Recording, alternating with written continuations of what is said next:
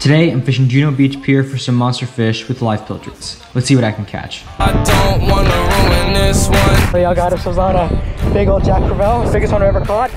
Then we get a net over here. All right guys, distance up again. Love